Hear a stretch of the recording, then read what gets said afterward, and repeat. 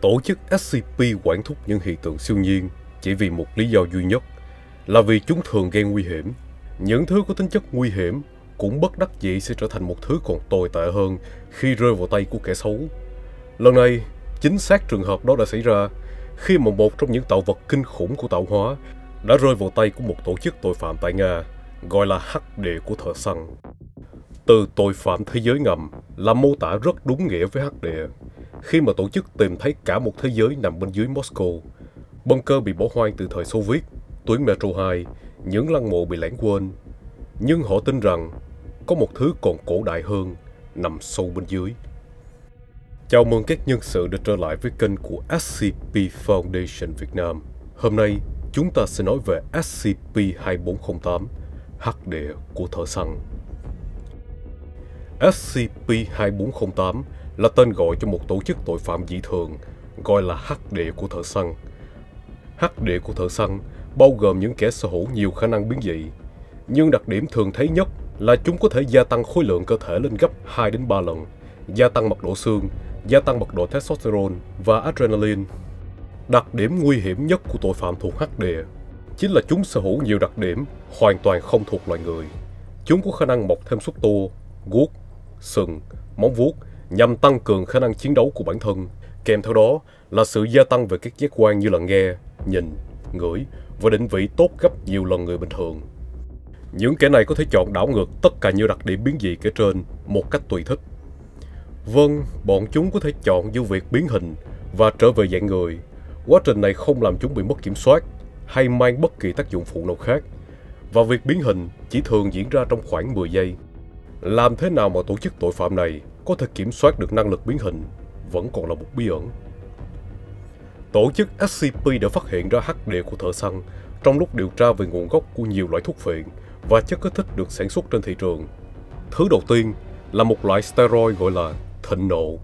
Người sử dụng loại steroid này sẽ gia tăng mật độ cơ và xương một cách dị thường.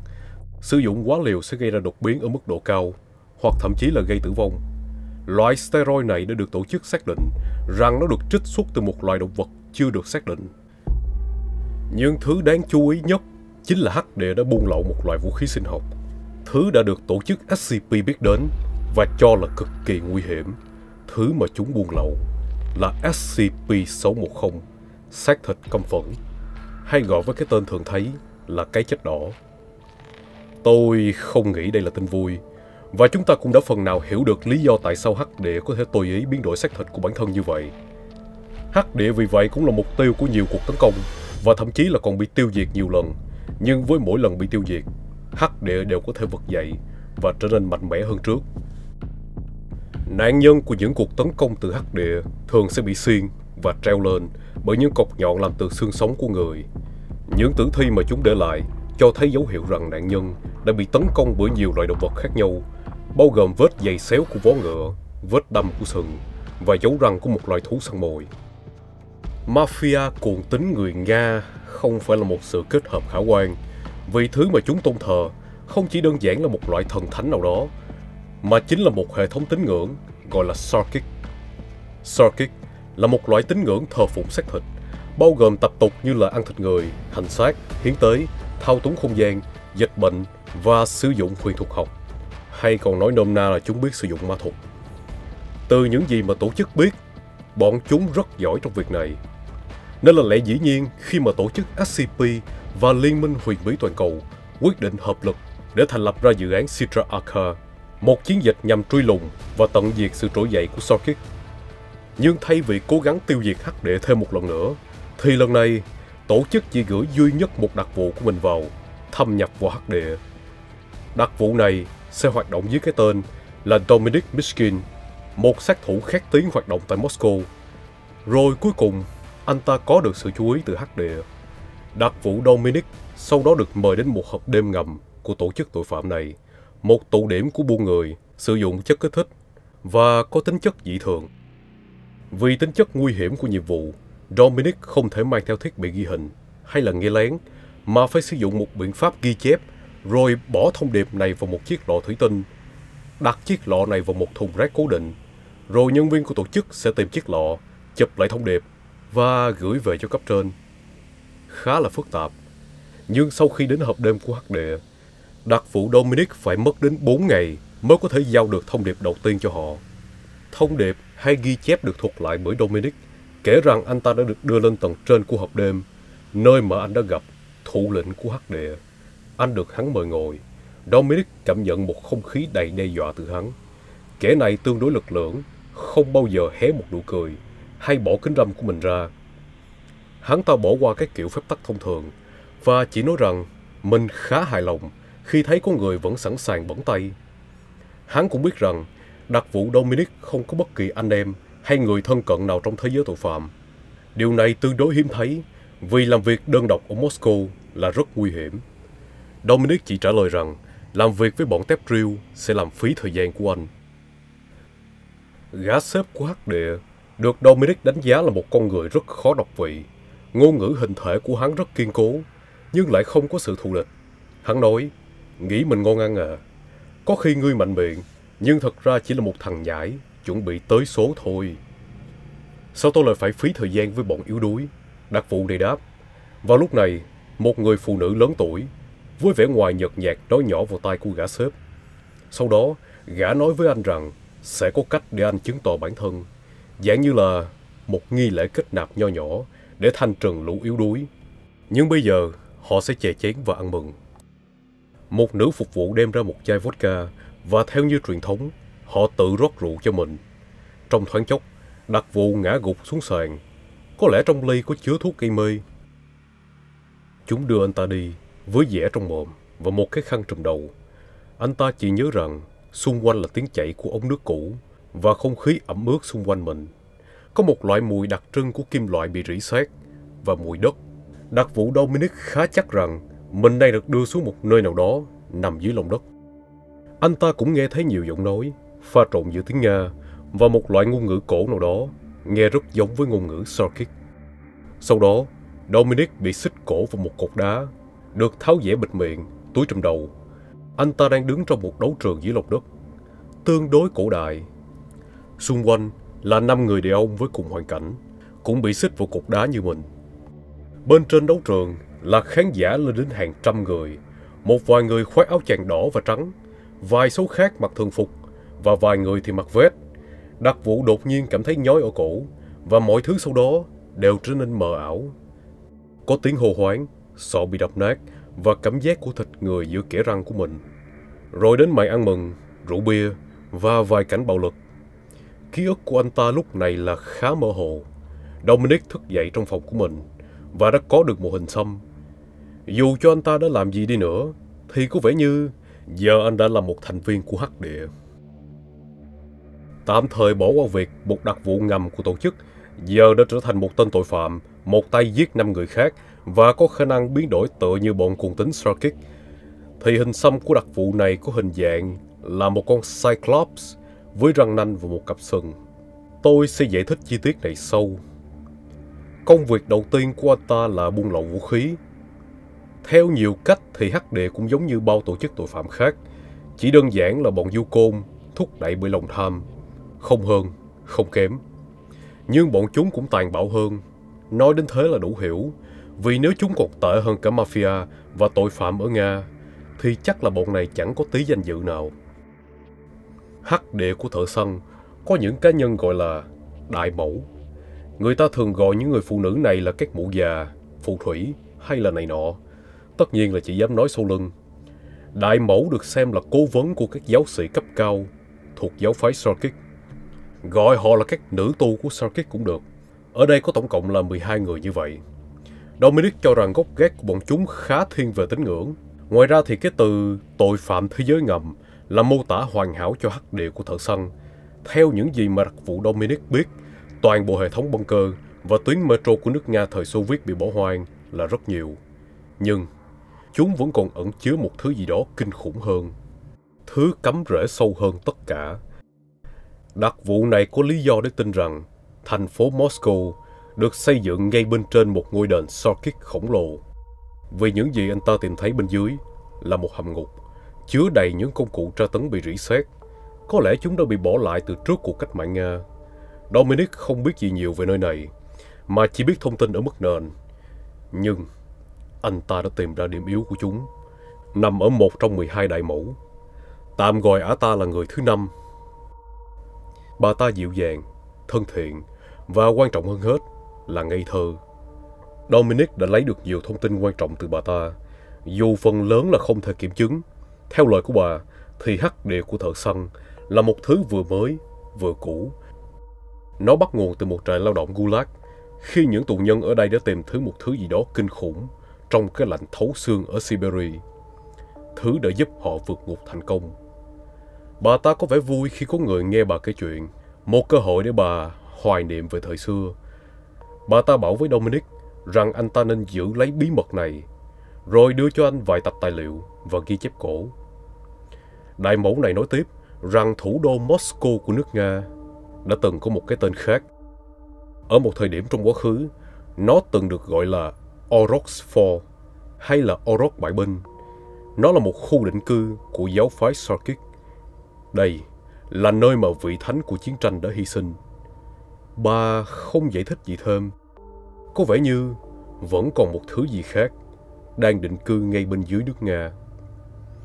Dù được mô tả là một thành phố cổ đại, các địa điểm ở Moscow hay tôi nên gọi là Oroxfor, được bà mô tả bằng những cái tên kỳ quặc như là đang ám chỉ đến nhiều bộ phận cơ thể khác nhau như là quả tim, phổi và hộp sọ của Orox. Liệu thành phố Moscow là một sinh thể à? Ta chẳng thể biết được. Ở một ghi chú khác, không rõ ngày tháng, đặc vụ Dominic được giao một nhiệm vụ nữa bởi hắc địa.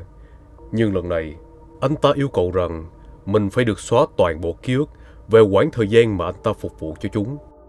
Phần lớn mục tiêu của anh đều là lũ côn đồ và cặn bã. Nhưng lần này thì khác.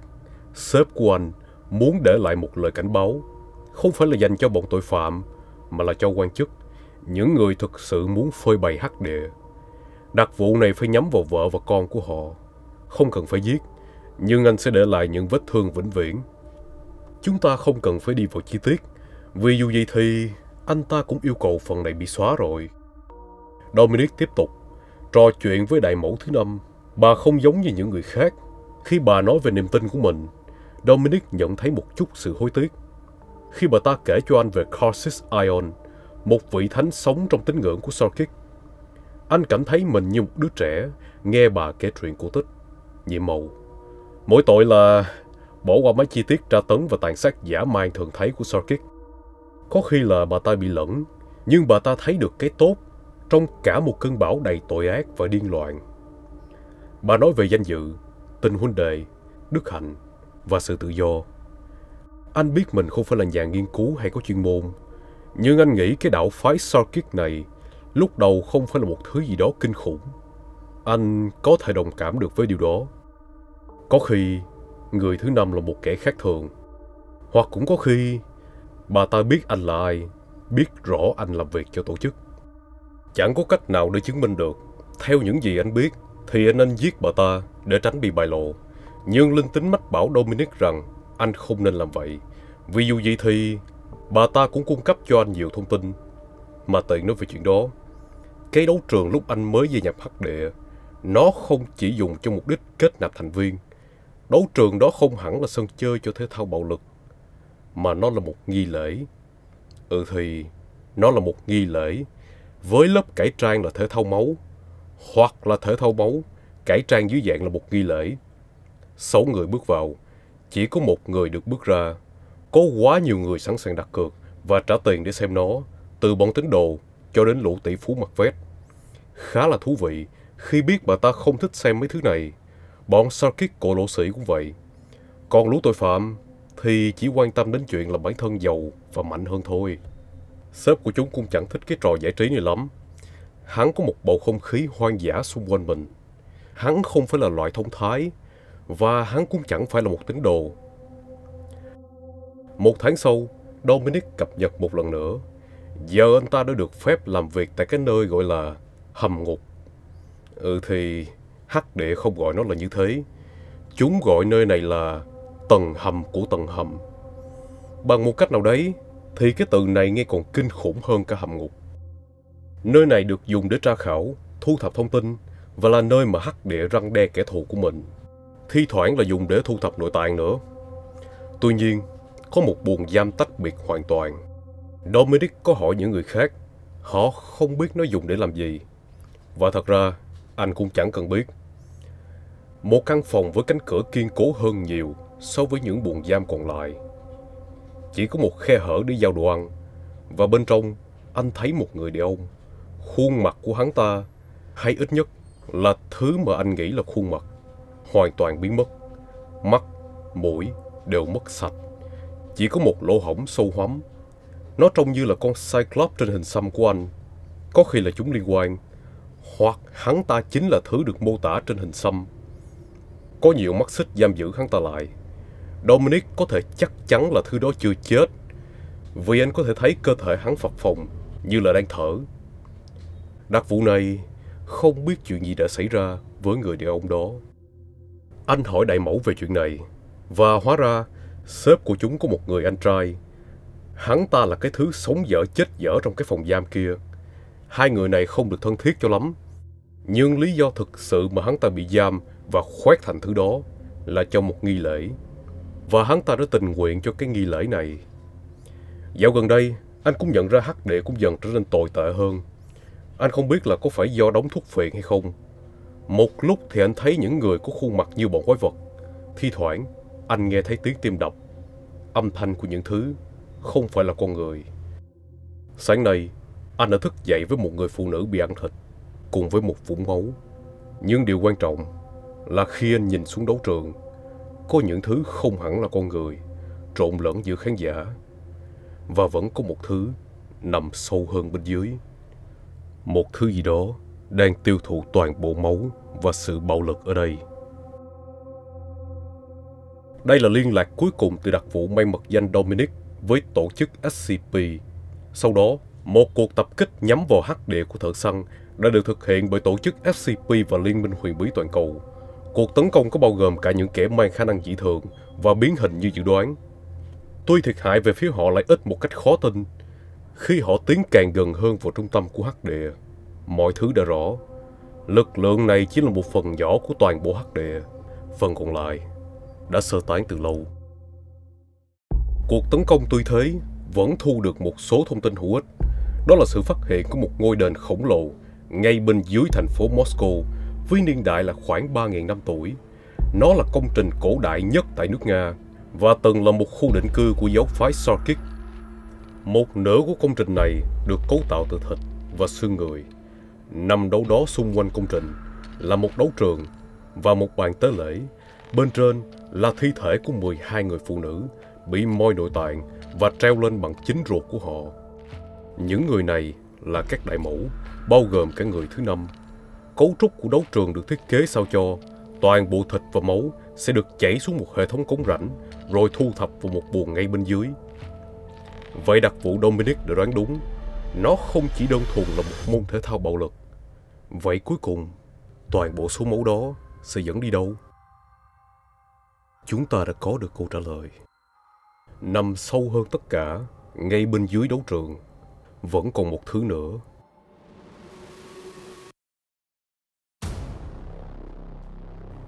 Đây là Orok, một sinh thể dạng người nằm ngay bên dưới đấu trường, hiện đang trong trạng thái hôn mê sâu.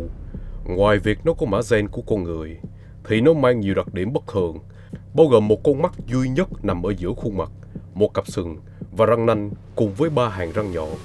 Sinh thể này sở hữu một khung xương bên ngoài cực kỳ khỏe và chắc chắn tương đương với kích thước cơ thể.